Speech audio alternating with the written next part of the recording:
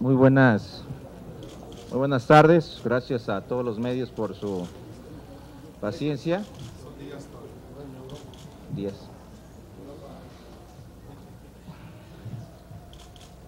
El grupo parlamentario del Partido Acción Nacional en el Senado de la República ha estado debatiendo uno de los temas más difíciles, más complicados, más indignantes de lo que ha sucedido en los últimos días. Pero no solamente de lo que ha sucedido en los últimos días, sino de lo que ha sucedido en los últimos dos años.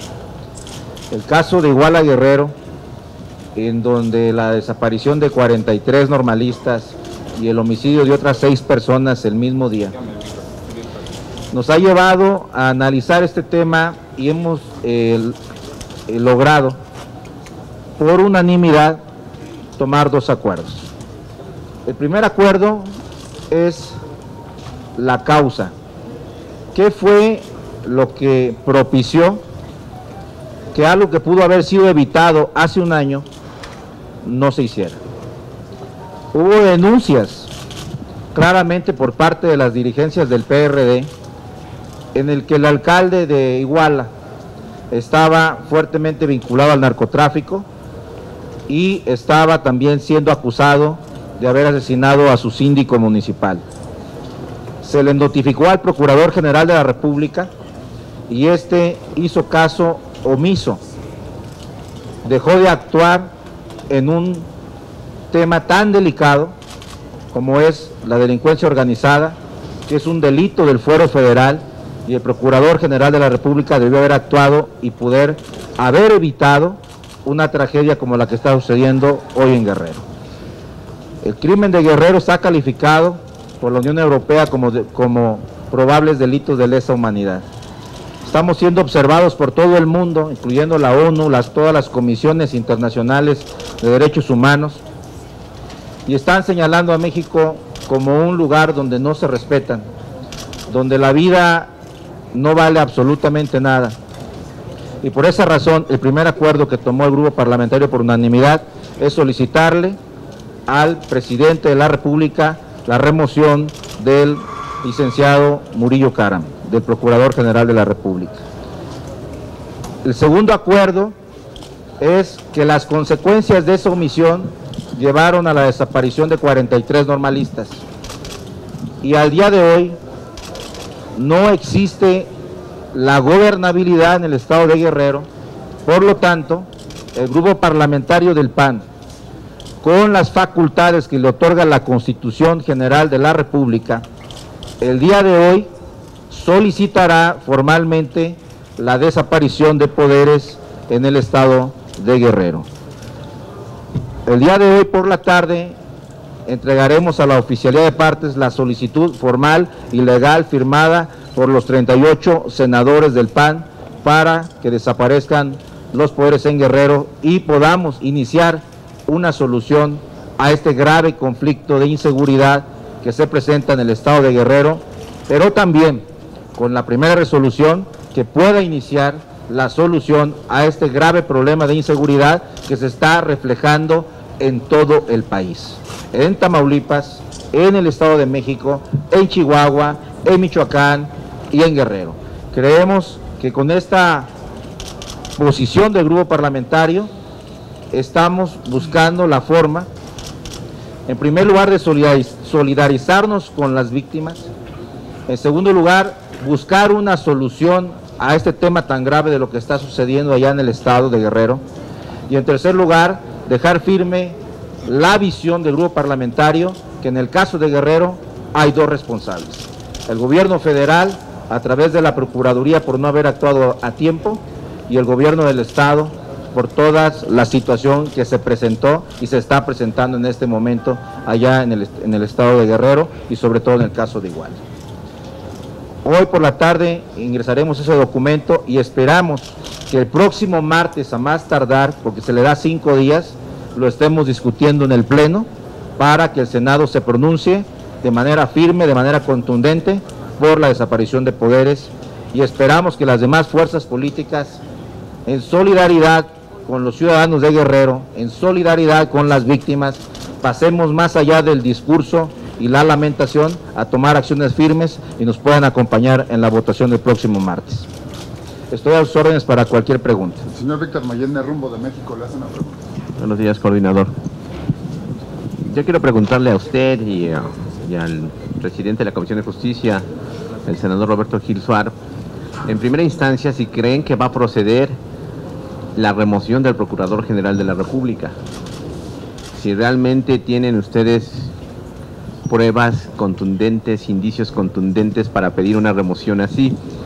Y dos, faltando siete meses para el proceso electoral de junio del año próximo, ¿es conveniente pedir la desaparición de poderes en Guerrero?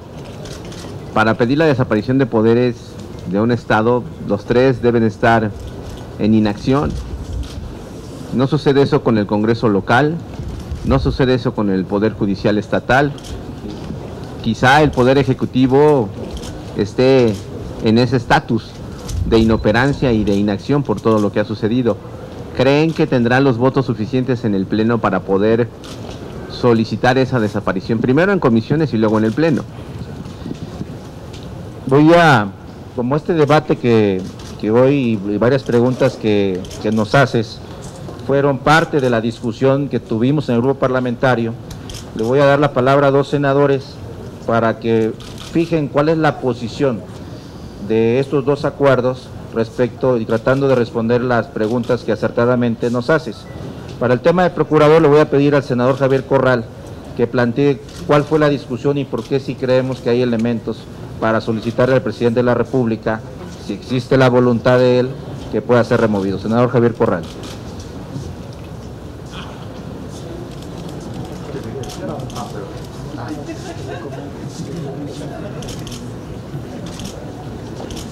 Bueno, como bien lo dijo el senador Preciado, eh, el análisis que se realizó en el grupo parlamentario del PAN tiene que ver con entrar al fondo de los hechos de violencia, de represión, de homicidio y de desaparición que se están desarrollando en distintos estados del país y no solo en el caso de Guerrero, pero que en el caso de Guerrero tiene su rostro más dramático, por lo que todos nosotros ya sabemos. Los acuerdos del grupo parlamentario van en el sentido de atacar en serio una cultura de impunidad, una tesis de un sistema de tapaderas que por estarse peleando responsabilidades entre niveles de gobierno termina afectando derechos humanos, atropellando a las víctimas y desconociendo una realidad tan dramática como la que hoy vivimos. Después de la masacre de 1968 que marcó al régimen priista en la Plaza de las Tres Culturas de Tlatelolco, no habíamos tenido desde entonces y hasta la fecha un hecho tan dramático, diría tan funesto para la vida del país, como es la desaparición de 43 normalistas en las condiciones que todos conocemos. Eso es lo que ha hecho que el mundo vuelva su mirada a nuestro país. Eso es lo que hace que una delegación de diplomáticos y parlamentarios europeos alce su voz. El Senado de la República no puede quedar atrás de las expresiones del mundo. Por eso creemos que se han configurado dos hechos jurídicos inevitables para la República. El primero, la remoción del Procurador General de la República por las omisiones evidentes, ostensibles y confesadas por el propio Procurador General. Desde hace más de un año, diversas voces del Estado de Guerrero, incluidos algunos dirigentes del PRD y miembros de su Consejo Nacional, allegaron al Procurador General de la República elementos, nombres y circunstancias que conducían a configurar delitos del fuero federal, esto es, delincuencia organizada. Incluso vincularon el primer homicidio con las eh, influencias nocivas del alcalde José Luis Abarca en el municipio de Iguala. De entonces a la fecha, el Ministerio Público Federal no realizó ni abrió investigación alguna con relación a esas denuncias. Se pudo evitar lo que hoy lamenta el país y el mundo y estuvo en la esfera de competencia del Procurador General de la República. Hace dos años está acreditado en las actas del Senado, le ofrecimos nuestro voto de confianza al Procurador y en un proceso incluso expedito fue ratificado en forma unánime el señor licenciado Jesús Murillo Caram, por quien en lo personal sentimos respeto y le tenemos consideración, pero su actuación como Procurador General de la República deja mucho que desear. No solo es Iguala, son varios alcaldes de distintos estados que han hecho llegar al Procurador información precisa y no actúa. Son varias denuncias que están puestas sobre su mesa y no actúa. El país vive reencendida una ola de violencia que coloca de nueva cuenta la mirada del mundo. Reencendida la violencia en Chihuahua, en Tamaulipas, continua en Michoacán y con este rostro dramático en Guerrero. Llegó el momento de expresar que el procurador ya no tiene nuestra confianza.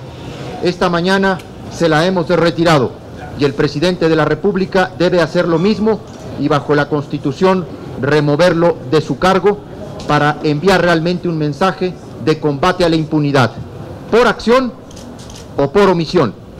Y en el caso del señor licenciado Murillo Caram, es el caso de omisión. Ahora, la figura de la desaparición de poderes, entiendo que el senador Gil la habrá de explicar. Muy buenos días. Como lo ha anticipado el coordinador parlamentario, la segunda discusión que tuvimos en el grupo parlamentario fue sobre la solicitud para proponer la desaparición de poderes en el estado de Guerrero. La propia ley a la que vamos a invocar en esa solicitud establece cuál es el procedimiento para hacerlo. En primer lugar, la solicitud se puede presentar por cualquier senador o por cualquier diputado. Basta la firma de cualquiera de los aquí presentes para que el proceso inicie de manera formal. Contará nuestra solicitud con la firma de los 38 senadoras y senadores del Grupo Parlamentario de Acción Nacional. También la ley establece un plazo fijo para que se resuelva por el Senado de la República, cinco días para que el Senado se pronuncie sobre esa solicitud. En consecuencia, dado que será presentada el día de hoy, esperamos que la próxima semana, el día martes, estemos en el Senado, en el Pleno del Senado, discutiendo esa solicitud. En tercer lugar, establece que el quórum de votación es la mayoría simple como se toman las determinaciones de la función legislativa que tiene a cargo el Senado de la República. En cuarto lugar, establece con toda claridad que la desaparición de poderes va acompañado del nombramiento de un gobernador provisional que asume las funciones en el Estado, que tiene las facultades para designar al Poder Judicial, que existen mecanismos para garantizar la continuidad y la regularidad de los expedientes judiciales y también que el mandato que recibe con su nombramiento del Senado de la República puede llevar acompañados directrices de actuación. ¿Qué directrices de actuación? Por ejemplo, un plazo fijo para que depure y certifique a las policías, un plazo fijo para que establezca un programa integral de atención a las víctimas del caso concreto en Iguala, un programa con un plazo fatal para que revise cada uno de los expedientes judiciales en la Procuraduría del Estado para ver si hay algunas otras autoridades políticas involucradas con el crimen organizado, entre otras acciones que será el mandato que el Senado de la República le dará a ese gobernador provisional. Y por último, también la propia ley establece el supuesto en el cual nos encontramos, es decir, cuando está cercano un proceso electoral. Y dice un artículo expreso de la ley reglamentaria que cuando ha iniciado el proceso electoral, el gobernador nombrado por el Senado se convierte en gobernador sustituto, es decir, concluye el periodo para el cual fue electo el cargo sustituido y en consecuencia se desahogan las elecciones en tiempo y forma. No hemos cuidado perfectamente el análisis del procedimiento, hemos hecho una reflexión acuciosa técnicamente profunda y hemos llegado a la conclusión de que en este caso procede de manera clara y contundente la desaparición de poderes, porque uno de los supuestos fundamentales de la desaparición es cuando la autoridad local no puede ejercer las funciones de gobierno por circunstancias, hechos o acontecimientos provocados por la propia autoridad local. El señor Jaime Contreras, de Grupo Imagen, le hace una pregunta. Gracias, buenos días, buenas tardes, senadores. Eh, primero que nada, una, un ejercicio de memoria que a todos nos importa. Yo recuerdo a Jorge Luis Preciado, antes de que fuera coordinador, abogando hace año y medio por la desaparición de poderes en Michoacán. Otras circunstancias, otros momentos, pero yo nunca vi ningún pronunciamiento de todo el grupo parlamentario sobre el particular y está aquí el senador Cordero para que nos recuerde si hubo algún pronunciamiento sobre el particular. Yo no lo recuerdo. ¿Hasta qué grado? Y con todo respeto, pero tengo que preguntárselos, ¿hasta qué grado estamos hablando de un tema de cierto, respetuosamente, oportunismo político? Estamos empezando un año electoral, estamos jalando agua a nuestro molino, señores. Este fue un señalamiento del presidente del PAN que tuvo a bien, tengo entendido, compartir el pan y la sal hace un ratito con ustedes. ¿No vino? Ah, bien, muchas gracias. Eso es nota. Este, y también me importaría mucho plantear, plantear esto en ocasión a otras circunstancias. El procurador Murillo Cara, metiéndome un poco en las patas de los caballos, decía hace poco que Bejarano en forma concreta fue el que le planteó el asunto del asesinato de uno de nuestros compañeros, el que estás haciendo alusión y que era de fuero común, que por tal motivo además no se le presentaron más datos y por eso no lo atrajo en su momento. Entonces esto estamos hablando de una circunstancia, de acuerdo con el procurador, lo ha dicho varias veces, era de fuero común, no de fuero federal. Y por tal motivo solo atrajo ese asunto hasta ahora, la semana pasada, pero todo el tiempo se esgrimió que era un rollo de fuero común. Y lo último, lo último que más me interesa es, se van a encimar las cosas y los calendarios en tiempos del año electoral. No es esto tratar de buscar, ¿por qué no una suerte de, de que el gobierno del presidente Peña Nieto a través de su Procurador General de Justicia, de su abogado, del abogado de la nación, que se le conoce así al procurador, también está fallando en otras entidades? Es lo que estoy también entendiendo, senadores. ¿Cuál era la pregunta concreta? No, es que no me pusiste atención porque estabas platicando con mis compañeros, con tus compañeros. No, me refiero, que la, la pregunta, la pregunta es... concreta es, no es un asunto, Electoral. no es un asunto oportunista en términos electorales, no se está, no hubo ningún pronunciamiento con Michoacán porque ahora sí no me escuchaste, creo, más bien. A ver, y tercero, si esto no va, ¿por qué no se extendió hacia otras entidades? Te lo comento rápido. Sí, me El escuchaste tema de. Michoacán eh, es, hicimos un posicionamiento nosotros que finalmente llevó al gobierno federal a intervenir. No sé si fue la manera más adecuada o no, pero tuvo que intervenir. Y al día de hoy, los dos exgobernadores de Michoacán, uno está en la cárcel por vínculos con el narcotráfico precisamente, Jesús Reina, y el otro está renunciado porque su hijo mantenía vínculos con la tuta. Creo que el hecho de que nosotros hace año y medio hayamos puesto el dedo sobre la llaga permitió que el gobernador Fausto Vallejo pudiera ser investigado, él y toda su familia, y permitió que el gobernador que lo suplía en sus ausencias por enfermedad estuviera hoy en la cárcel. Creo que Acción Nacional y el grupo parlamentario no se equivocó, no se equivocó Luisa María Calderón cuando hizo el señalamiento, no se equivocó Salvador Vega, no se equivocaron ni un milímetro en señalar lo que estaba pasando en Michoacán y la prueba de ello, de que cuando los senadores ponen el dedo sobre la llaga es que uno está en la cárcel y el otro está destituido. En segundo lugar, en el tema de Guerrero para nosotros no es un tema electoral y déjenme decirle por qué. El PAN en Guerrero no llega al 10% de intención de voto. No es un tema que nosotros nos vaya a posicionar para la gobernatura o para cualquier cargo. El problema en Guerrero es un problema de violación de derechos humanos. Es un problema de 43 jóvenes desaparecidos cuyo único delito era protestar para pedir mejores condiciones educativas. El problema en Guerrero es un alcalde vinculado al narcotráfico y un gobierno ausente, un gobierno desorganizado frente a la delincuencia organizada. Creo que es un tema que podemos resolver los senadores de la República y este tema de la desaparición de poderes lo vamos a plantear de manera legal, de manera formal, los 38 senadores y lo vamos a llevar hasta sus últimas consecuencias. Y ahí sí queremos ver a los demás legisladores, porque todos los grupos parlamentarios y todos los legisladores se están lamentando el caso de Guerrero, pero queremos que esa indignación, esa frustración, la reflejen con su voto en el Pleno para tomar una decisión firme por parte del Senado de la República. En el caso del procurador, y en virtud de que fue el senador Corral quien hizo la exposición, le voy a pedir que intervenga una vez más para que haga las precisiones adecuadas a las preguntas eh, acertadas que nos haces. ¿Y que no escuchaste? Bueno, mire, Jaime, yo quisiera eh, decir que eh, México es un país que está permanentemente en elecciones. Cada año, en alguna parte del territorio nacional, el país entra en competencia electoral.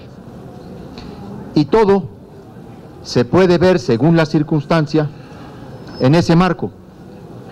Pero no hemos sido nosotros, ni la bancada del PAN, los responsables de omisiones con relación al caso de Iguala ni de Guerrero.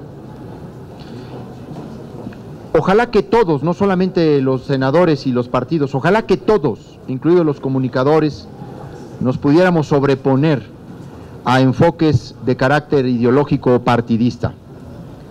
Estamos hablando de 43 estudiantes desaparecidos, de seis homicidios que se verificaron el mismo día. Pero si usted revisa antecedentes anteriores de la actuación del Ministerio Público Federal, pues usted tiene que sumar el caso de Tlatlaya, en donde la primera actuación del Ministerio Público Federal pues fue prácticamente dictaminar la inexistencia de un delito de su competencia.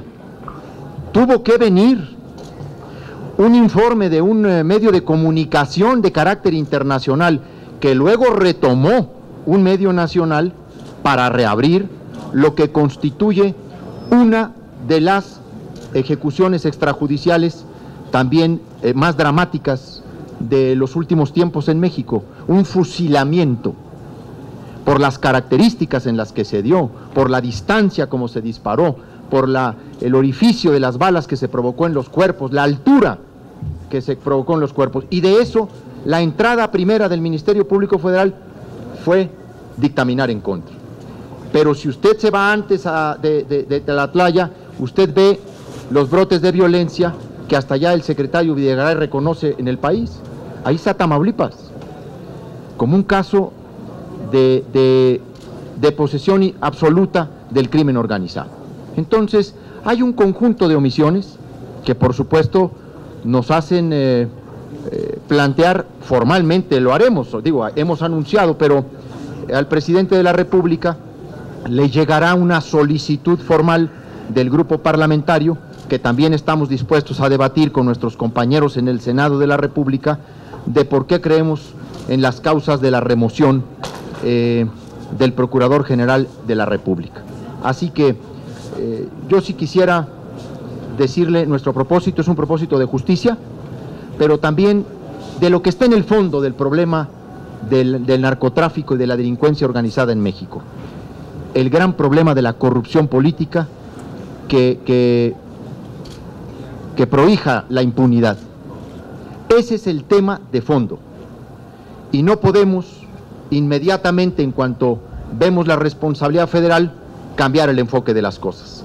Mientras solo se mantiene la atención en el gobierno del estado de Guerrero, mientras solo se mantiene en el ámbito de la responsabilidad local, ahí no hay ningún enfoque electoral. Ah, pero se introduce la figura del Procurador General de la República y entonces sí tiene tintes electorales. Yo creo que estamos obligados todos a alzar la mira en este momento tan triste tan dramático para la vida del país. No es cualquier hecho, 1968 marcó al país en más de un sentido, cuando se atentó contra los estudiantes, mi estimado Jaime. Tres semanas pasaron, Estamos- senador. Porque nosotros tenemos que allegarnos de todos los elementos. Mire, hoy hemos tenido una discusión de más de tres horas, en donde incluso cuestionamientos como el suyo se plantearon sobre la mesa. No hemos tomado una decisión sobre las rodillas. Hemos analizado los distintos elementos y las salidas que tenemos para enviar un mensaje real a la nación. El Senado no puede salir con exhortos. El Senado tiene que salir en este momento de cara a la nación a pedir la remoción del procurador y a iniciar la desaparición de poderes. Basta de exhortos. El país quiere ver cosas en serio de sus senadores y nosotros nos hemos propuesto hacer cabeza de esas causas. Muchas gracias, Jaime, por su comprensión. Les pregunta Leticia Robles de Excelsior.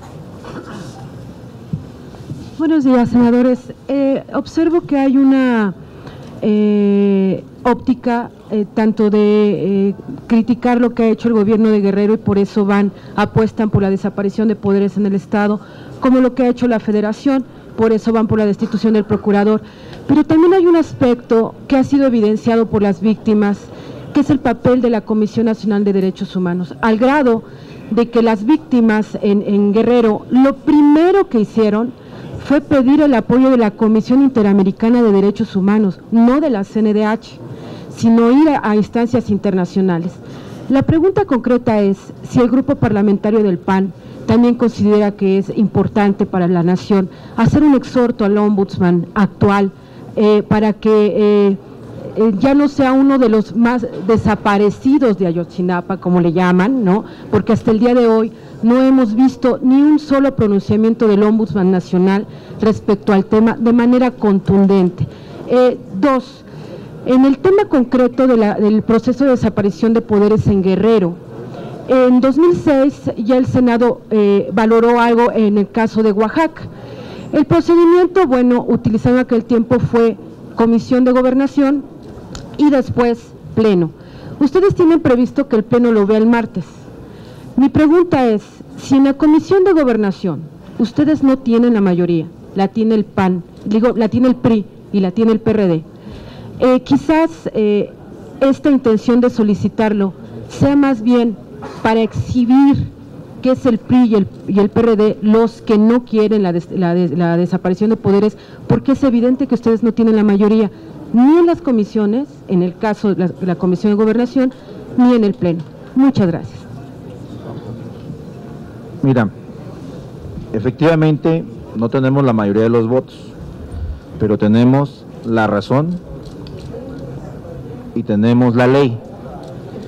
Y yo creo que si esto que vamos a plantear sobre desaparición de poderes va a reflejar en cada legislador lo que ha dicho públicamente, lo que han sostenido en cada entrevista cuando se les pregunta sobre el caso de Iguala, en el que lo primero que reflejan es indignación, dolor, tristeza y coraje e impotencia, y lo reflejan en su voto, no le quede ninguna duda que vamos a tener la mayoría en las comisiones y la mayoría en el Pleno. En segundo lugar, en el tema de derechos humanos, no es un tema fácil, déjeme decirle. El grupo parlamentario está citado mañana a las 9 de la mañana, donde vamos a debatir el tema de la Comisión Nacional de Derechos Humanos. No solamente el nombramiento, sino inclusive facultades de las mismas. Y obviamente el titular de la Comisión Nacional de Derechos Humanos va a ser parte del análisis y del debate que vamos a sostener cada uno de los senadores del PAN. Vamos a tomar una decisión con responsabilidad y ese es un tema que no va a escapar. Ya no vamos a hacer exhortos absolutamente a nadie. O se o se le reelige o se le retira y se va por un nuevo nombramiento. Eso es parte del debate que vamos a tener el día de mañana a las 9 de la mañana.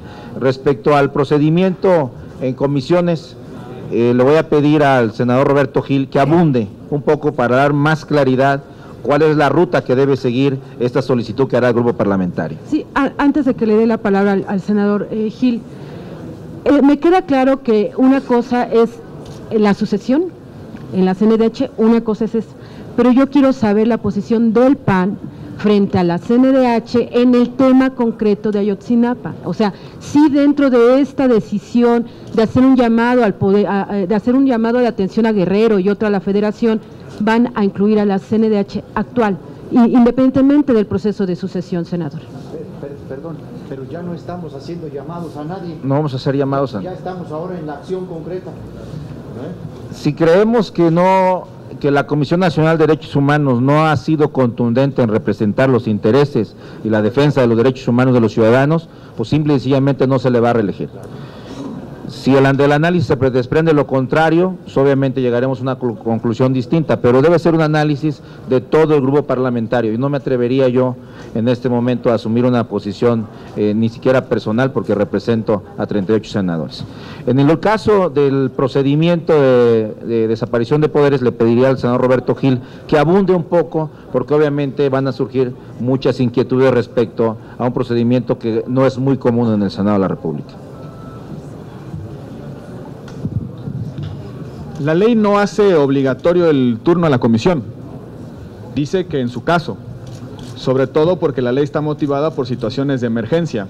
Parecería contradictorio con la propia finalidad y espíritu de la ley que una solicitud en un caso de emergencia, una situación tan apremiante como la de Guerrero, durmiera el sueño de los justos en alguna comisión a la cual le fuese turnada la solicitud.